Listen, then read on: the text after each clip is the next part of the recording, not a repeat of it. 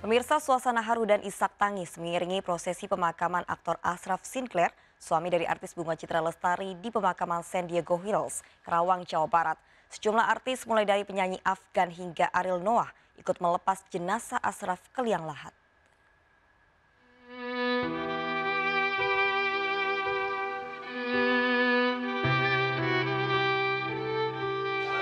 Jenazah aktor asal negeri jiran Malaysia, Ashraf Sinclair yang wafat di usia ke-40 tahun dikebumikan di pemakaman San Diego Hills, Karawang, Jawa Barat, Selasa sore.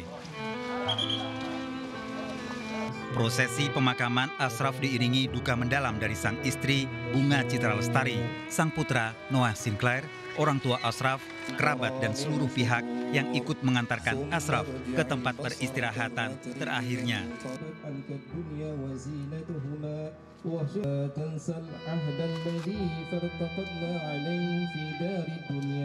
Meninggalnya Ashraf secara tiba-tiba akibat serangan jantung membuat pihak keluarga terkejut dan tidak menyangka akan kehilangan sosok Ashraf yang dikenal rutin berolahraga. Sejumlah artis pun seperti penyanyi Afgan Ariel Noah menyampaikan simpati yang dalam untuk Bunga dan Noah yang tiba-tiba saja kehilangan suami dan ayah. Tahu itu Ashrafnya uh, orangnya sangat dewasa, sangat uh, ke Unge, sahabat baik Unge dan uh, dewasa dan, dan ramah ya, nggak pernah kita lihat uh, emosinya Polda sekalipun. Jadi pasti penting ini. Apalagi bagi sejumlah artis, Ashraf dikenal sebagai sosok yang bersahabat.